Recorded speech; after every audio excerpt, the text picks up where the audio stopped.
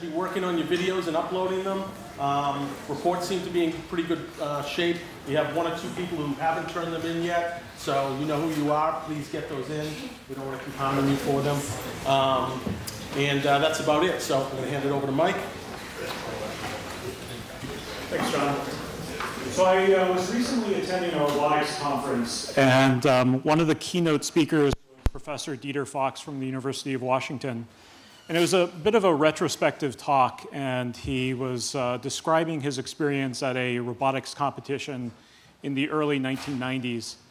And um, he expressed how excited he was to be at this conference because there were all of these famous people at the conference. And by famous people, he was referring to uh, researchers uh, that he highly respected who had written a lot of papers that, that he had, had read. And, um, and, and it brought a lot of excitement to be in the, the same room um, as, as those researchers.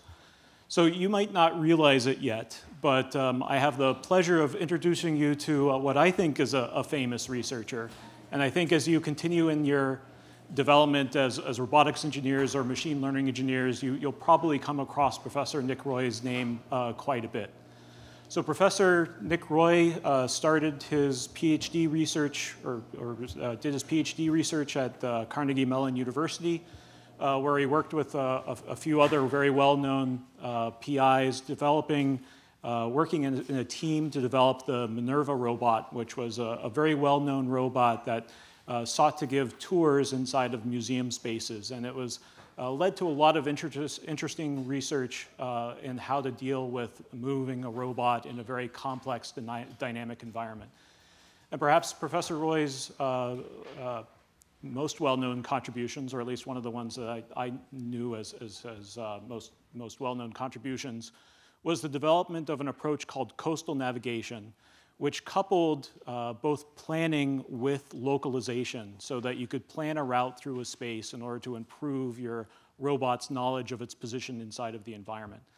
But then I was also surprised to find out that that was not necessarily his most cited work, um, but um, Professor Roy also has a, a paper uh, in machine learning and uh, active machine learning um, as well that um, I, I, had not been aware of until I, I looked up yesterday. So um, I think there's uh, interesting content for um, all of the different classes uh, for, for Beaver Works Summer Institute.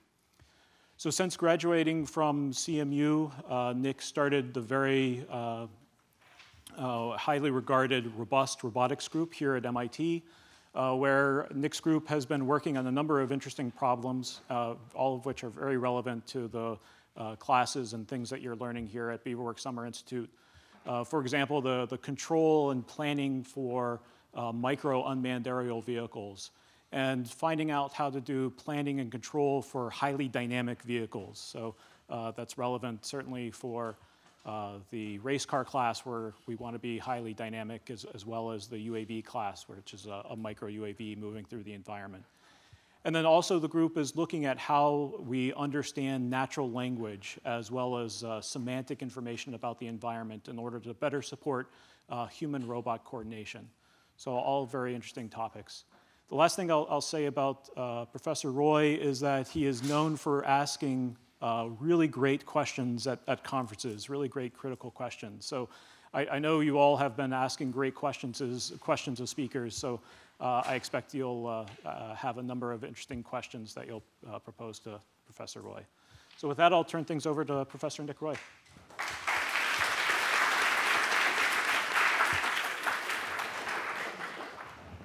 Thanks for that introduction, Mike. Um, I didn't know I was known for asking great questions.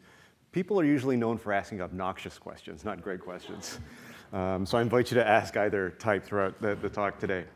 Um, so I, what I plan to do is talk to you a little bit about sort of the, um, the technologies that you're using and developing in this class and kind of how we got here.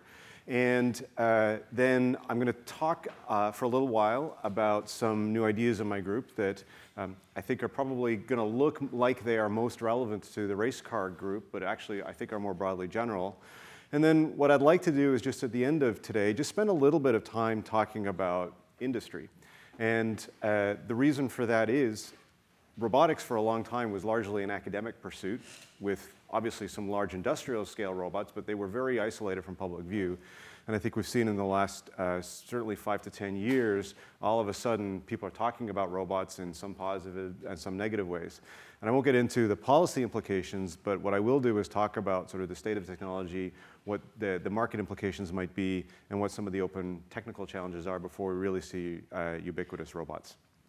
And like I say, please feel free to jump in anytime uh, with questions.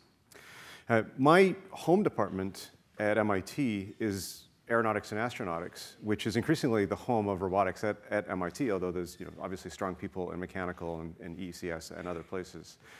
And uh, aeroastro people generally tend to love aircraft, and so um, I'm going to, you know, a lot of my research has been in developing the autonomy to make UAVs smart. And so what does that mean? Well, it's interesting to think back, you know, when I started MIT uh, 15 years ago, UAVs were just not something that people talked about. Nobody talked about drones. To the extent they talked about drones, they were either in the military or they were beekeepers. Um, and so if you were to type UAV as a term into Google, uh, and through the virtues of the Wayback Machine, you can kind of do this. Um, you would have got, or actually, no, this is not, this is a modern picture, you still would get pictures that look very much like this, right? This is largely, to the extent that people thought about unmanned aircraft, to the extent that any idea what that meant, they were large military assets designed to uh, be way high up in the sky, cameras, uh, certainly 15 years ago, they, they weren't uh, weaponized. They were just sensor platforms designed uh, generally for military applications. One thing that has changed in the last 15 years, irrespective of what people think about drones, is the Google page itself has changed. And now, you know, in the last five years, you may not realize what an unusual thing this is, is that like, you know, web search engines did not have shopping links 15 years ago. And so you can click the shopping link and ask Google, well, if I want to buy a drone, which again, 15 years ago would have been a nonsensical question, um, if I want to buy a drone, what am I going to get? And you get a very different picture, right? And this is probably what you all now think of as drones or, or, UAVs. It's like these little things that you order from Amazon or Hobby Lobby or, or, or Tower or wherever. And you all, you know, I would be surprised if less than half of you didn't have one of these at home uh, somewhere. And they're fun gadgets. They're basically flying cameras. And we've seen people do things like, you know, film, uh, you know, uh, national uh, parks. We've seen people film sports uh, events. Uh, we now uh, drone racing is a thing, and, and, that, and, that's pretty cool. This is a very, very big change in the, uh, what people think about this technology and what people are trying to do with this technology. So what's changed? Well, one thing that has changed is that uh, we have much, we, the uh, community, and certainly anybody wanting to build a drone or sell a drone, has access to low-cost, high-power microelectronics. So little bits of electronics that can do surprising things. Um, this, these are now super, super cheap. Second thing that's changed is the availability of high power, high, uh, low cost, high power computation. So if you want a smart drone, you need a fairly beefy computer.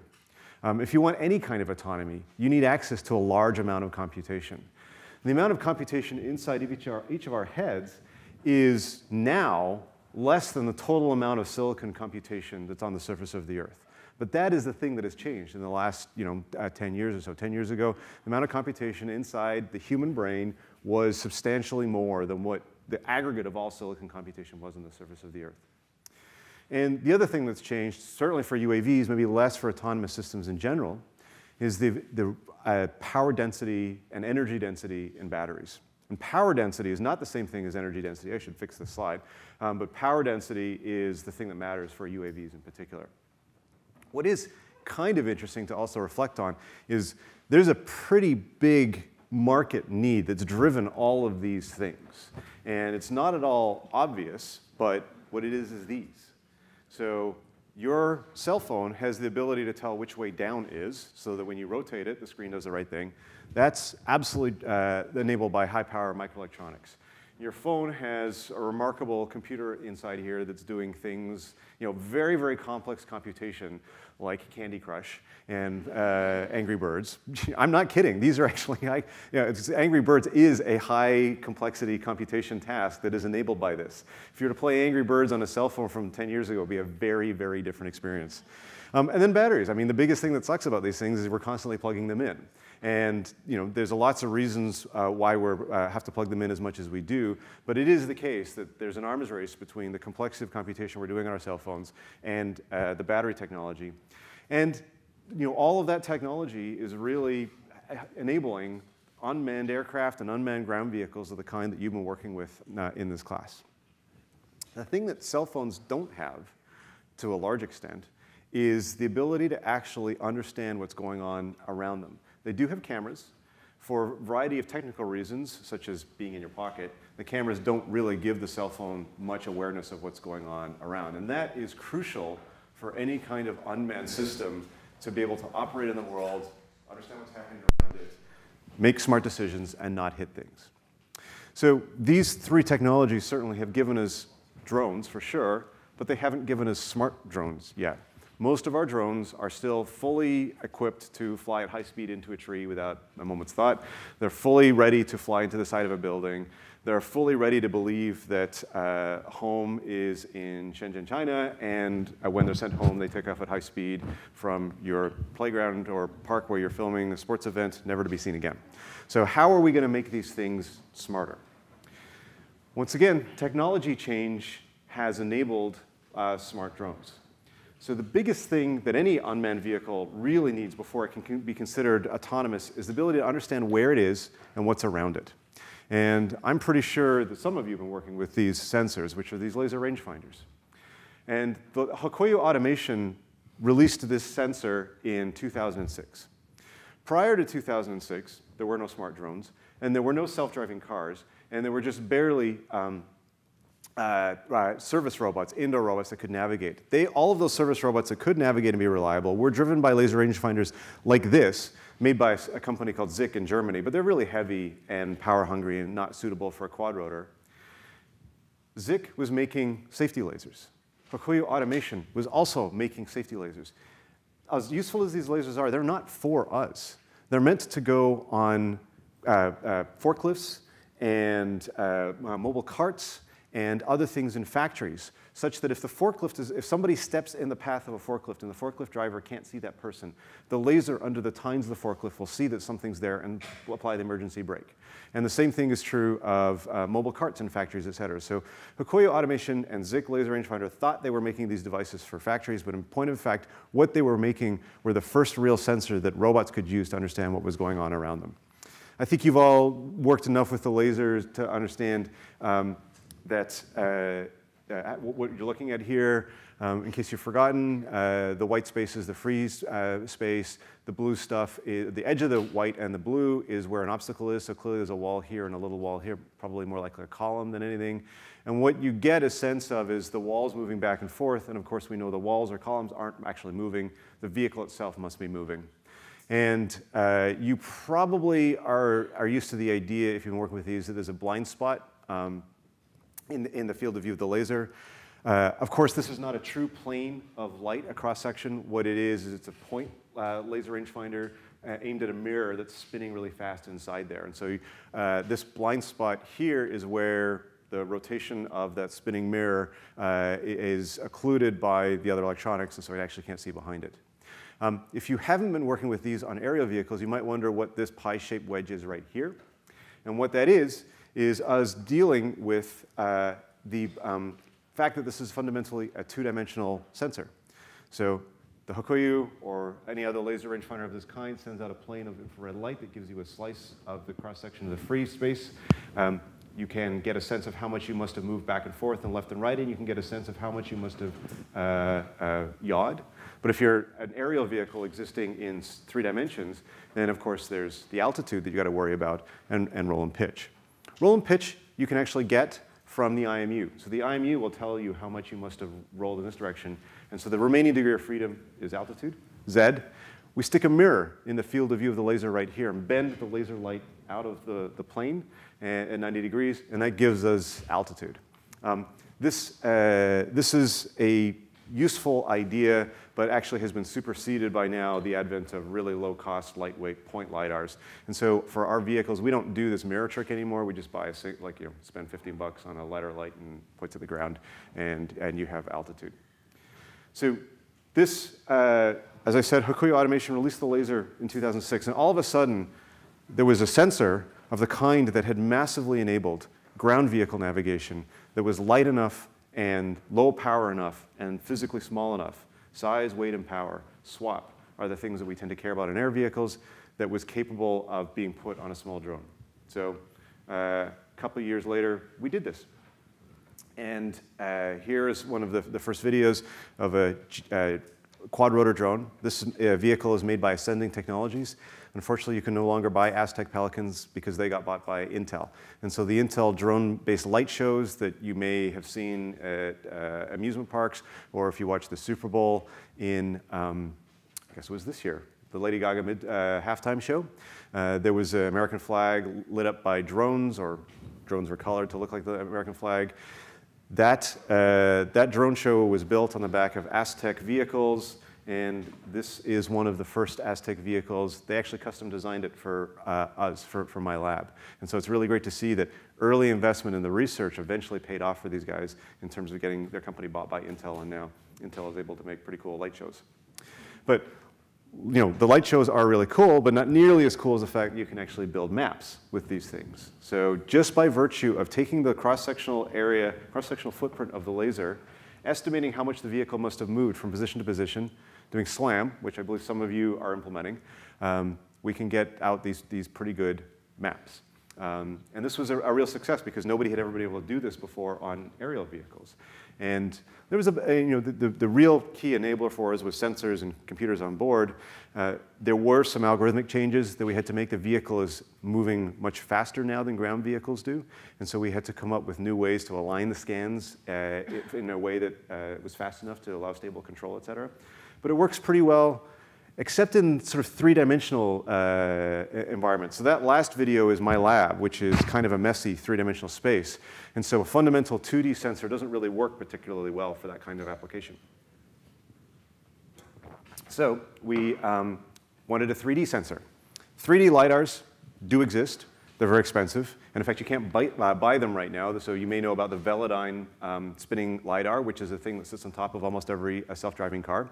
You can't buy Velodyne uh, lasers right now. They're back ordered eight months because um, we don't know, but either Google or Apple or Nissan or one of the self-driving car companies bought all of them. So uh, it's a highly valuable technology. But it's not really appropriate for a drone. What is cool is that Microsoft thought they were making a gaming sensor in the Microsoft Kinect, but they, in point of fact, were actually making a sensor once again for all of us. So it's amazing how well these companies have done misunderstanding their business model. That really, you know, they're making sensors for us roboticists. The fact that there's a gaming application is, I suppose, fine. Um, but the, uh, you know, this is an RGBD camera. It projects structured infrared light out into the scene, and it's able to recover uh, the structure of the environment. Once this came out, uh, we saw that uh, we could use these, again, on uh, aerial vehicles, strip off the extraneous packaging just for weight and um, you can build now 3D models.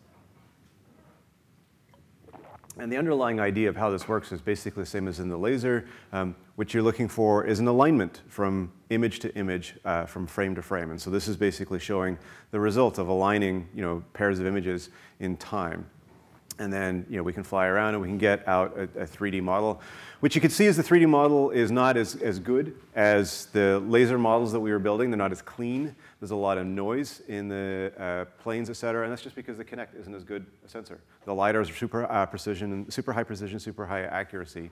And the other thing that you'll see if I let this play long enough is that it's missing chunks of the environment, and that's just because the decision-making system that was deciding which way to go wasn't thinking about how to make sure there was a complete mesh of, of the uh, thing. So, um, let's talk about what the challenges are. So, uh, you know, I've laid out very, you know, various capabilities that we have and that we would like. And uh, you know, there's ba basically to make an unmanned system smart, and I think you've seen all, uh, a lot of this already this uh, class this summer, is the vehicles have to know where they are. And that's largely signal processing and estimation theory. They have to know what's around them. Uh, still built on the top of signal processing estimation theory. They have to know what, they have to know what to do next, planning algorithms, and then they have to be able to uh, react to the unexpected and, and adapt and learn. And machine learning is starting to have an increasing impact on what, how, the technologies that the self-driving vehicles, both air and ground, are using to enable the answers to these questions. And then machine learning is also just enabling what we can do. Um, just uh, to sort of uh, give you a flavor of what is the limit of what we can do, I think, in terms of fast and aggressive and agile motion in the air, um, I just want to quickly show uh, this video here, um, which is a, video from my group that's a few years old now. And this, as far as we can tell, is still the, the most dynamic and aggressive flight in a GPS-denied environment that's been uh, demonstrated so far. So the vehicle is using entirely onboard sensors um, to estimate its position and uh, uh, estimate its position in a known map. Full disclosure, this is not solving the SLAM problem. And then makes smart uh, control decisions. So the vehicle is going 10 to 12 meters per second. One of the things that's complicated about area vehicles is that they have, uh, fixed wing vehicles in particular, is they have a stall speed. So unlike a ground vehicle or, or a quadrotor, you can't stop and think for a little bit. And the dynamics are also complicated uh, in the sense that if you want to turn in a particular direction, you typically have to roll. And so the field of view of the sensor is strongly coupled to the direction you want to go and the motion you want to follow. And so that creates challenges uh, for planning. So I'm going to talk uh, relatively briefly about just you know, how we do estimation in this particular uh, uh domain. So I think that many of you in the course of doing localization and estimation have been working with um, uh, things like particle filters and Kalman filters. And so I'm going to talk about how we actually do this in the air vehicle. The air vehicle is a challenge because we have this regular six degrees of freedom that we uh, care about, which is x, y, z, roll, pitch, yaw, when we're existing three dimensions. But for, for a fast-moving fixed wing, where uh, you have a stall speed, you really have to care about the derivatives of those things as well. So what I have up here is a 12-dimensional state space that we've got to do estimation in this case. And so, uh, like I say, I think you've seen some of these technologies. You've seen particle filtering, and you've seen Kalman filtering. So Kalman filtering basically assumes a parametric form of the distribution that you're estimating for the position of the vehicle. And particle filtering assumes a non-parametric form. You draw samples, and you try and sort of you know, compute the likelihood of these different samples given the sensor data. And these are, these are, this tension is something that shows up in, in uh, developing unmanned systems all the time. Particle filtering arrived on the scene in 1998, was the first Monte Carlo localization paper, and it really changed how people thought about localization because it's supernatural for the kinds of range sensors. You don't have to worry about extracting features and, and, and doing complicated derivatives of those features. Kalman filtering is sort of the state of the art in aero systems. It's what uh, certainly has been taught in Aeroastro at MIT for well over 50 years. And uh, for a lot of dynamic systems, it's really, really uh, intuitive. But it does, for incorporating sensor data like lasers and cameras, it requires you to start thinking about how you extract features from that data that allow you to do things like linearize the sensor, et cetera. And it makes some very restrictive assumptions about the kinds of environments, the kinds of sensors you can use. So that's the bad news on the Kalman filter. The bad news on the particle filter is though as natural as it may be and as great as it was for ground robots, it's super painful for air vehicles because the complexity of the filter grows not linearly with the number of dimensions, but it grows exponentially with the number of dimensions, number of state variables you're tracking. So ground relatively slow-moving ground vehicle where you're just estimating x and y and theta uh, with a laser, this is great. Uh, for a uh, fast-moving laser uh, air vehicle where you don't have complicated sensors, but you just have IMUs and, and dynamic models, this is great. This is once you start incorporate, once you want to st stick a laser rangefinder on an air vehicle and start running particle filtering, it's really, really slow. And so the question is, what do you do? So one of the things that uh, we, we uh, did in order to solve this is to observe that sensors contain different, different amounts of information about different variables. So for instance, remember that this is a Hokuyo laser rangefinder. It's a plane shooting light out into the environment. And the Hokuyo certainly lives in the full 12 dimensions of the, the air vehicle, but it can only see three of those, right? If the laser is essentially, we don't have the trick of bending the, the um, light out of the mirror um, because the, the thing is rolling and pitching and moving around so much as it is in the air vehicle. And so the challenge is, can we, uh, the thing is, is that if the laser is perfectly horizontal, all we can see is x and y and theta. That's the only thing that's observable to the sensor at that point in time. So filtering the full 12 degrees of freedom with a particle filter and a laser doesn't actually make any sense. So the question is, can we capture the information the laser actually sees and propagate it to the full state? And so uh, the, the answer is yes. If the laser is basically a measurement of some of the state variables, maybe you can particle filter on those state variables and turn that into an effective measurement that gets converted into the Kalman filter. And uh, I'm not going to go into the details of the math of that, but this looks very much like a, um, a picture for that where we're particle filtering on some state variables, and you can see how the, the, the, red dots shows the projection of the laser rangefinder into the environment from those particles. But it's a small number of state variables we're particle filtering, and then we Kalman filter on the rest of it as an effective measurement. And we've got papers online that describe how to do this. But one of the challenges of autonomy is what is the information that the uh, uh, sensors are giving you, and how do you extract the most amount of information out of those sensors without paying an undue computational cost. And this is still very much an open question for autonomy, and some of you may be wrestling with this already, is that you want to do a thing, uh, one kind of algorithm with your sensors, but you can't afford it. And so how do you actually get the information out of the sensors in a way that allows you to do efficient computation? Lots more work to be done. Um, another uh, uh, uh challenge is uh, planning. So let's assume that I've, I'm, I'm a good state estimation person, and I worked really hard and I figured out how to uh, get my laser rangefinder onto my flight vehicle and I'm able to do estimation over all 12 uh, state variables while at the same time incorporating the laser data. How am I going to actually generate plans for this um, uh, vehicle with relatively complicated dynamics? And motion planning as a problem has been around uh, since the beginning of uh, robotics. It's, uh, it's both interesting and somewhat sad to note that when the first sort of fully autonomous mobile robot was developed at Stanford in the 60s, the Stan, uh, Stanford CART. Um, it had a monocular camera, it had uh, IMU, it had a computer on board, and it could navigate around the room uh, uh, relatively reliably. And we still don't really know how to solve that problem. We're still struggling with a lot of the same problems. The only thing that we can say is we can do it a lot faster than the Stanford CART could do it uh, back in the day. It would take the Stanford CART about 15 minutes to uh, process a camera image to estimate its position and estimate the geometry around it. We're a lot faster than 15 minutes now, obviously, but that's largely due to Moore's law uh, more than you know, tremendous advances in exactly how we process the data. So some progress, but not at the rate that, that we would hope and not from the places that we'd hope. Um, so why is, uh, why, why is motion planning not a solved problem necessarily for this vehicle with complex dynamics? Um, if you've seen modern motion planning, you know that the way that a lot of autonomous systems plan trajectories for vehicles with complex dynamics is by random sampling.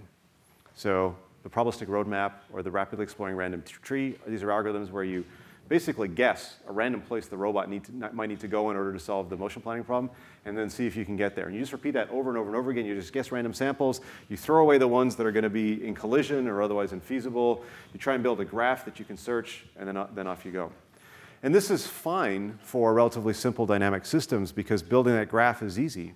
But if you have complicated dynamics, such as like a robot arm that has many degrees of freedom, or such as a uh, fixed-wing vehicle that can only execute certain kinds of trajectories because of stall and because of the way the, the, the inertia of the vehicle interacts with the wing, then you can't necessarily use a lot of these things. Is that basically when you uh, try and grow trajectories towards some goal state, it's really hard to actually know whether or not two states, two samples in your configuration space are actually connectable or not with these dynamics. So once again, we're faced with a tension between two different approaches. On the one hand, um, we could pretend that our flight vehicle is actually um, has really simple dynamics. This is actually how an awful lot of autonomous systems work. Is that if you have a self-driving car, for instance, you generally solve for the center of the motion of the self-driving car, or more accurately, the center of the, the drive train axle. Um, excuse me, steering uh, axle.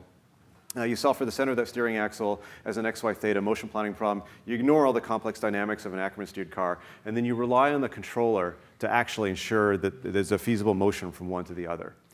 And that works kind of okay, and it certainly works, works well for self-driving cars, although if you want highly aggressive, highly dynamic car uh, motion planning, for instance, a rally driver or a NASCAR driver uh, or a Formula One driver, then that probably wouldn't work because you'd end up taking suboptimal lines through the race course. But for driving through Cambridge, it's basically fine. Um, but it is suboptimal. Uh, on the other hand, we could plan in the full dimensional uh, state space of the vehicle and uh, incur the full computational intractability and just take a really long time to actually solve those plans. And just as there was a middle ground for state estimation, there's a middle ground also for, um, uh, uh, for these vehicles as well.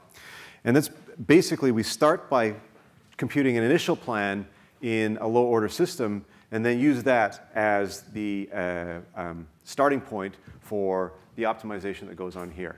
And the basic idea is that if you have a pretty good idea of where good plans lie, that's a much easier optimization problem than starting from scratch with no idea of what a good plan looks like. And so uh, I'm not going to go into the mathematical details too much, but the short answer is, is that there's this concept of differential flatness, which you're welcome to uh, look up. Uh, there's lots of papers about differential flatness, which basically says that for certain kinds of dynamical systems, cars are one kind of dynamical system, fixed wing aircraft and quadrotors are another kind of dynamical system, it is actually possible to plan in the, a, there's a low dimensional parameterization that you can plan in such that you will know what the rest of the states of the vehicle are going to do. And the, the, reason it's called differentially flat is because you, you get, for a given trajectory of some set of state variables, such as the center of the body of the quadrotor, you will know what all the other state variables are plus their derivatives. And so differential flatness exists for, for many systems, quadrotors, regular helicopters, et cetera. And basically what this does is it allows us to avoid the full penalty of planning in the high dimensional space until we need to do the last bit of optimization. So the way this works is that we plan for the differentially flat version of our vehicles, and we recover the full dimensional uh, representation of the uh, vehicle state along that trajectory, and then we finish with the final stage of optimization. And this, again, might be something that's useful to you. For those of you who are developing the race car, you could imagine planning in you know, some small number of dimensions of the race car and then doing a final step of optimization to get better uh, trajectories out. And this is exactly what we use for this quad quadrotor here. So this is a quad quadrotor flying relatively complicated and aggressive trajectory uh, in a very cluttered environment. Um, stay away from my lab late at night when we're doing these experiments because uh, it's always, you know, it's a surprise to have a quad quadrotor coming at you at 11 meters per second, but that, or 8 meters per second, excuse me. But that's what it's doing. Um, and this is a complicated trajectory because the vehicle has to know how fast it can go in order to stop at the end of the trajectory. So anybody can go 11 meters per second or 8 meters per second or how fast you want through my lab space. Not everybody can actually go through at that speed and stop when you get to the end of the, the wall. And so that's, that's the hard part here is not going fast. The hard part is going just fast enough that you're, you're sure that you're going to be able to stop at the end of it. Um, but there's one thing that's kind of unsatisfying both about the, aircraft, the fixed wing in the parking garage video and this quadrotor video. I didn't really make a big deal of it, but it is unsatisfying that the planning that I've talked about and the estimation assumed that we had a known map. Boy, it sure would be nice for these, this kind of aggressive flight and this aggressive, aggressive driving to work in unknown environments. The problem with unknown environments is that your laser can only see so far. And so you're really limited by what you can do with it when you decide to move into parts of the environment that are unknown. What do I mean by that?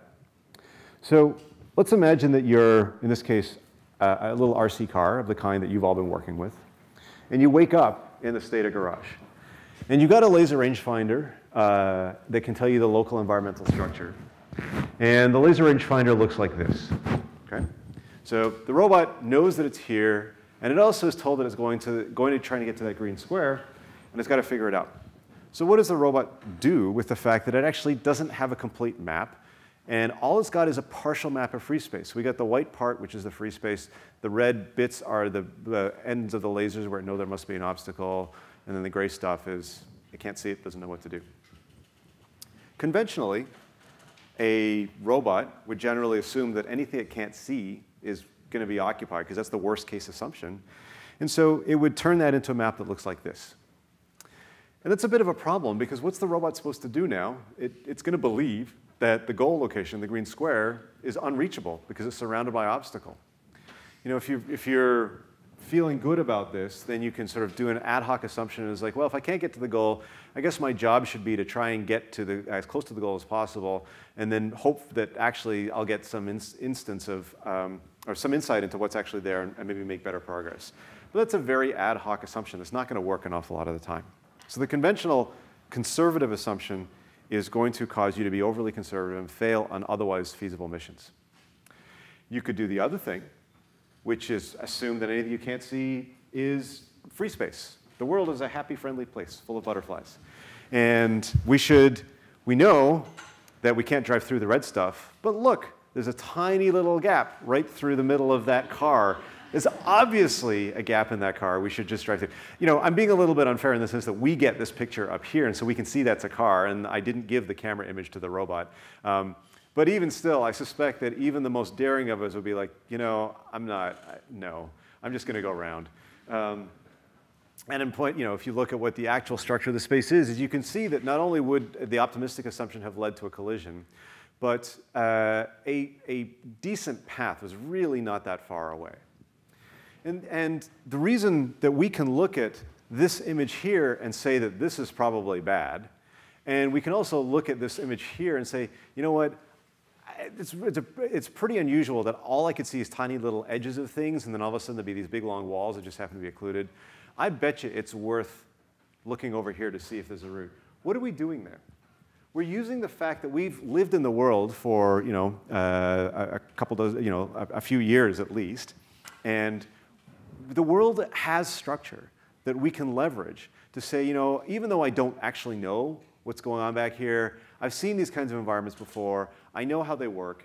I bet that I can, I bet there's a reasonable strategy that's worth exploring rather than either giving up or barreling at high speed into something that I think might well be an obstacle. What we're doing is we're learning. We're using previous experience to inform what we should do. Yes, sir? Is there a way to sort of like blend these two assumptions by detecting types of environments? Like saying like, oh, this is a garage with yes. cars. So the short answer is absolutely. Um, hold that thought. If I don't answer that question in a satisfactory manner in 10 minutes, absolutely ask it again. But yes, you would absolutely like to, A, understand the structure of the environment, and B, understand the kind of environment that you're in so that you can generalize or understand that, you know, the, the, um, a regular office building is, is not structured like an outdoor forest, and the data center is structured like no other building on Earth, and so your learned model will not generalize well. So uh, this basically takes us to the, the uh, problem formulation, which is like, can I learn to do well in this? So I'm going to uh, assume that what I'm trying to do is I'm, I'm going to assume that I have my little RC car here. There's a set of fixed trajectories it's, it's considering. I'm not going to optimize over all possible motions. Allow me to uh, just pick one of a library of things I might do. And then I'm going to try and choose the trajectory that has the uh, lowest expected cost. I'm going to pick one of my, I'm going to try and estimate the expected cost in terms of making progress towards the goal, being energy efficient, not having collisions. I can assume energy, uh, collisions are high cost. And I'm going to uh, pick the one that has the uh, lowest expected cost. So if I had perfect knowledge, I could just compute the cost of each one of these trajectories and be done. Uh, if I don't have perfect knowledge, I can compute the likelihood that I will have collisions or not collisions. But that's a really hard thing to evaluate. I could use the, the, the fact that the maps are probabilistic to try and compute this probability over all the possible maps, but that's a broken because the maps are the probability distribution imposed by a grid map of the kind that you may be working with is not a real probability distribution. It doesn't actually encode the true likelihood there's a cell there or not, um, which we can. You know, I'm happy to answer questions about later if you want to understand why that is. But the other problem is the set of possible maps is huge, and computing a real probability distribution over this is, is infeasible. So maybe what we can do is we can actually learn to predict from the partial map what is the probability of collision for each of these trajectories. So what I'm going to do is I'm going to learn to take features of the map and the environment and the trajectories, and I'm going to learn weights that allow me to predict the probability of collision for each one of these trajectories from data. So how's this going to work? Let's imagine that I'm training my car up. So I, am I'm, I'm going to be the pilot for a little while, and I'm going to drive it around the environment. And at each point in time, the robot's going to be building a partial map and uh, it's um, going to be uh, looking at all the possible trajectories it could be taking, even though I'm the one steering it. And it's going to label each one of these trajectories and the partial map it has at that time as to whether or not that trajectory in that map would lead to collision. And so the robot's here, and none of the trajectories are going to lead to collision in this map. The, the trajectories are all too short. I'm too far from the edge of, of free space. And I keep going, and I keep going, and I keep going, and then all of a sudden, I encounter trajectories that are going to have collision. And I can either attach these labels by colliding with things or not colliding with things, or because I'm during a training phase, I can actually give the robot the entire map that, that you know, I collect afterwards and say, you know what, this is the map. Even though you were building partial maps and looking at, you know, sort of not understanding uh, what might be happening, I can label these here. I know this is actually going to be collision because I have the full map, and I can label these. Right? Because again, this is training time. And I've written this column here as trajectory, x, and map, m. But trajectory map is a hard thing to learn from, so I'm going to extract features from these. And I'm going to, um, let's see, so I'm going to extract features that's, that basically compress the entire trajectory and the entire map into down just a few numbers that represent that situation or that scenario. So good hand-coded features might be like, well, how fast am I going? If I'm going slowly, I'm probably less likely to collide. If I'm going fast, I have more risk of collision. How close am I to the edge of unknown space? Far from the edge of unknown space, low probability. Far, uh, close to unknown space, high probability, and so on and so forth. And the name of the game is going to be can I take those features of like how fast am I going, how close am I, is the distance to the, is the nearest obstacle to my side or is it right in front of me? Am I driving high speed in the, in, uh, right at something or am I driving at high speed alongside something? And I'm going to give this to a learner that then learns to predict the probability of collision. And that learning process is going to be uh, not perfect, but it's going to give me reasonable uh, performance. So I can imagine like uh, I have feature values, feature one, feature two, and the, the, this particular learning function depends on a function k, which is basically picking those weights. The magic of the learning happens inside here. And I can predict for a particular value of phi 1 and phi 2 uh, whether or not I'm going to collide. And again, to your question about different environments, different features will have different impact on the likelihood of collision in different environments. So you can see that like office building, as long as, if, as long as I'm on this side of the sort of notional line that separates the red and the blue dots, I'm probably going to have low collision. And if I'm on this side of the, the, the notional line right there, I'm probably going to have high probability collision. Uh, in the freeway, it's much more separable. Not surprising. Freeway probability collision is much easier to understand. And so I can make useful uh, predictions. Um, I do need to do a little bit of work in order to recognize when I'm in environments that I've never seen before. So uh, I, am not going to get into the mathematical details of this, but we have the ability to recognize when we're making predictions about scenarios for which we have no training data, in which case we back off to a um, uh, safer uh, planning strategy that isn't, uh, that isn't just sort of blithely assuming that our predictions are reasonable when it's a kind of environment that we've never seen before. And so we put this on uh, RC car, and is it going to play?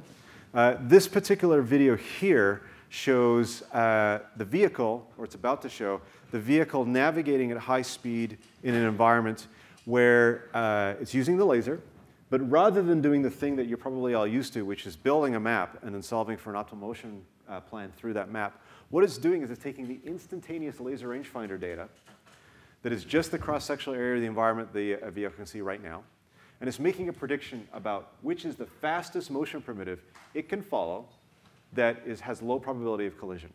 Um, that, that's not quite right. It's, it's picking the, the uh, uh, primitive in the, the, motion primitive library that has the lowest expected cost. And um, the video plays. Here we go, the video's playing. What you'll see is the vehicle starts off going relatively slowly, goes fast down this corridor, it slows down. It's learned how to take this kind of chicane. So it knows sort of how to serve around those kinds of obstacles in the way that a Formula One racer would do. Opens up the throttle, the metaphorical throttle, electric vehicle here, as it goes into that big open space. And then it comes up to one of my favorite points of the video, which if you know Formula One racing, the hairpin turn under the casino in Monte Carlo looks very much like this. And you see Formula One racers go from 200, 250 kilometers per hour down to 20 kilometers per hour in that hairpin turn and then open up the throttle again um, as they get into the straightaway. Our vehicle knows how to do that exactly. And the thing that's really interesting is it's able to predict which are the kinds of turns where it can't see beyond, where it can go a little faster, and which are the ones that are really like hairpin turns and it's going to have to go slow. And that's the kind of thing that there just isn't enough information in the instantaneous sensor data uh, or even the history of the sensor data that allows it to make predictions into that unknown part of the map. It's never seen this environment before, at least it thinks it's never seen before. Um, and uh, the, what we're doing is we're filling in the missing gaps in the sensor data with what the vehicle has seen of these kinds of environments before and um, uh, filling in these kinds of environments before and, and using that to sort of make predictions about what is, what is going to work well and what is not going to work well. And we do this all the time. Like I'm not optimizing my trajectory as I go through, as I try and leave a, um, a building that I've never seen before, but I can use information about the environment. For instance, doors are good ways to leave um, uh, rooms. Exit signs are a good thing to follow as you actually want to get outside a building.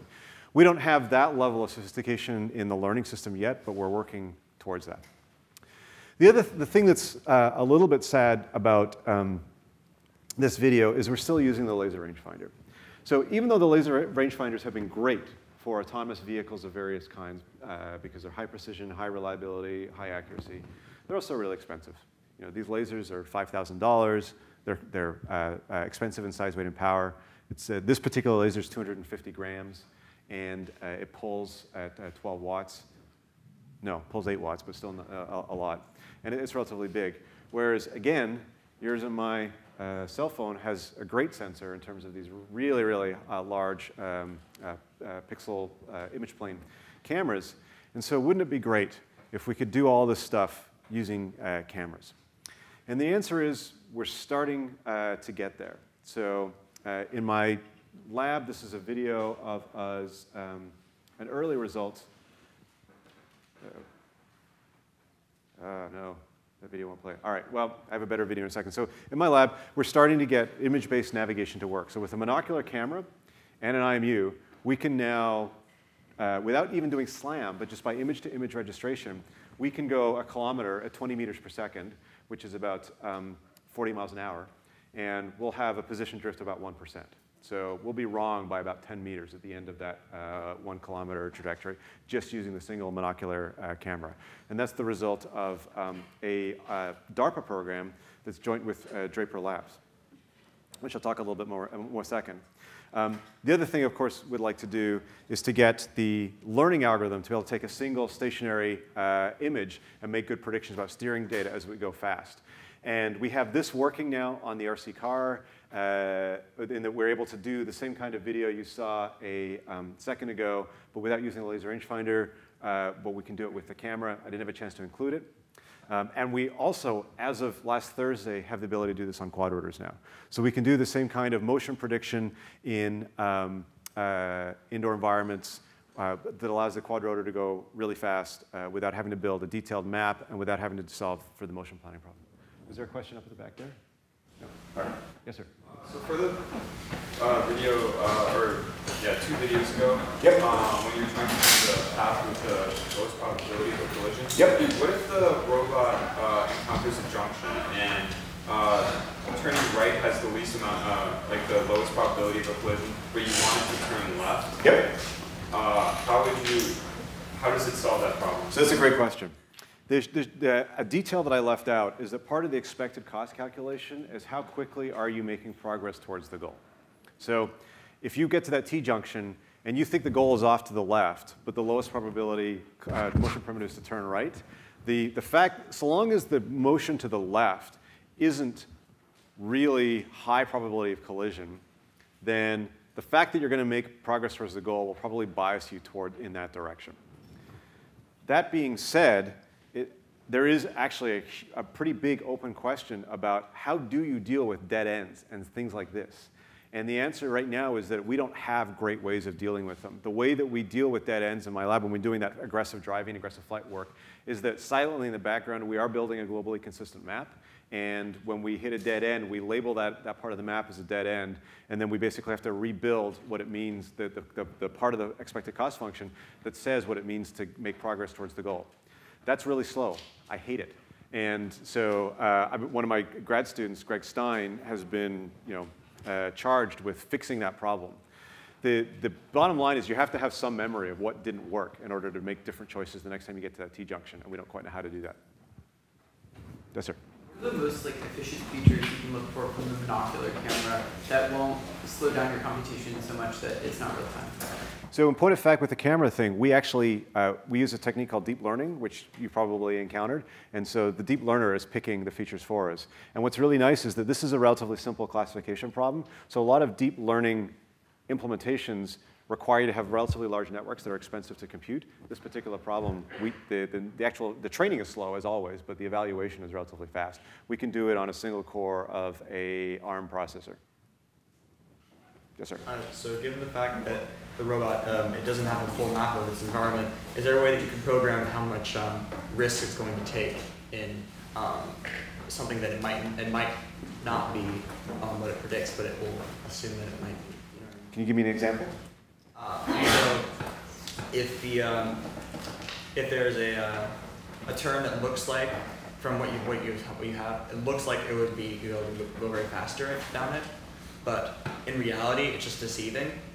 How um, how much probability would it give to the fact that its assumption is correct and that it will not? Like Great. Okay. So I think your question is basically, I think this is a good direction to go, and I think it's low probability collision. But there's something about the environment that makes me wonder whether or not that prediction is correct or not. Like, and, and so we know how to handle that. As long as the way that you sort of get, so, so, so like your spidey sense is like this is a high risk thing. That spidey sense probably has to come from how familiar is this? Does this really look like a corridor you've been down before? Or is it different enough that your prediction might be wrong? And we use ways of classifying, is this how novel is this? How unusual is this relative to our training data? If this looks exactly like something you've seen before, it's not at all clear where that risk might come from. Does that answer your question? Okay, great. Yes, sir. So I know you said that you have a cost function for uh, each path that you may take with yep. the laser scan data. Um, how did you come up with that cost function? Was it like by hand or was there one? Oh, uh, that's, that's a great question.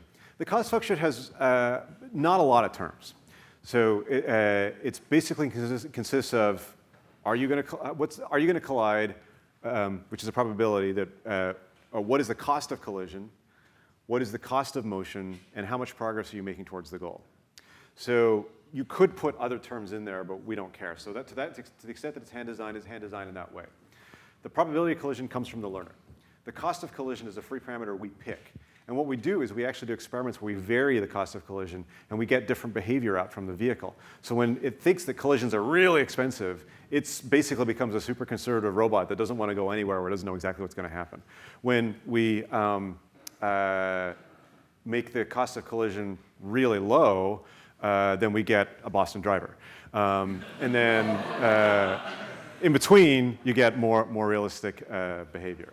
Um, and then the last term is the, are you making progress towards the goal?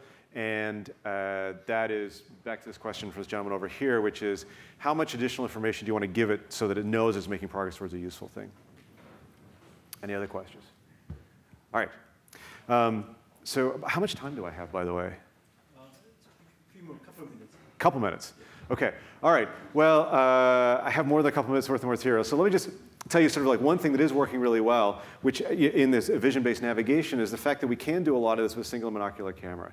So we do have this DARPA program called Fast Lightweight Autonomy where the challenge is can you fly from a long way away, enter like a, a, a rubble uh, type environment and, and do something useful in this uh, kind of space.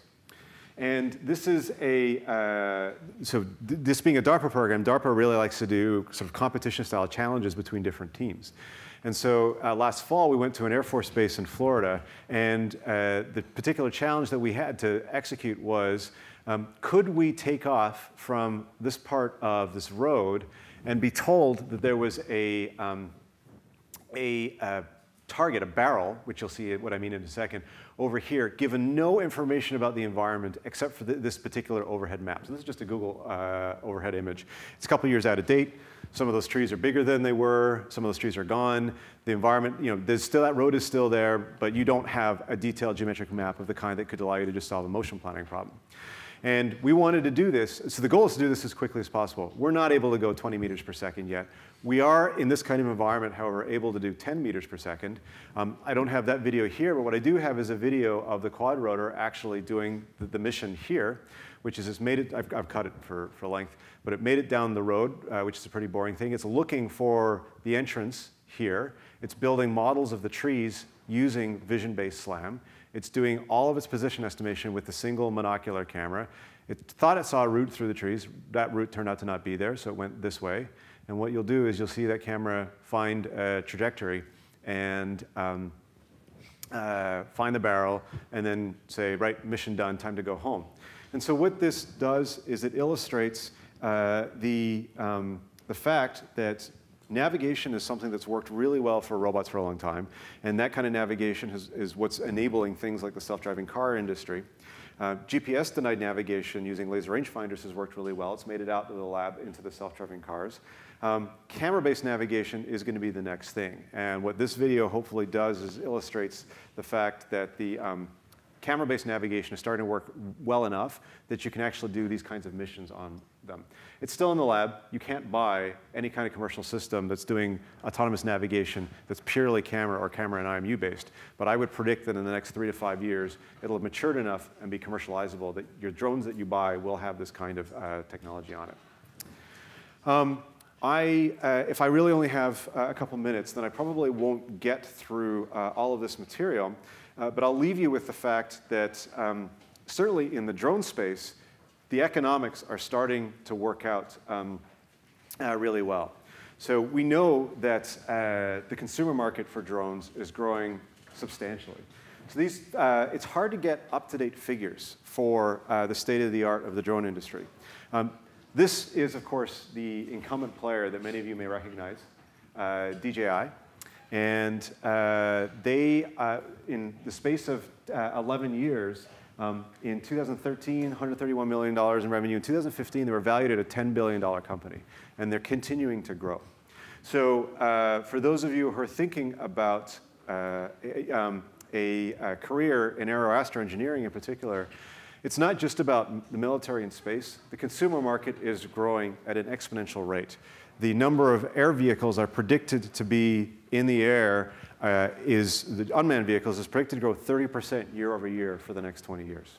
So that's from the, the technology side, is that there's real opportunities for, for companies uh, to start.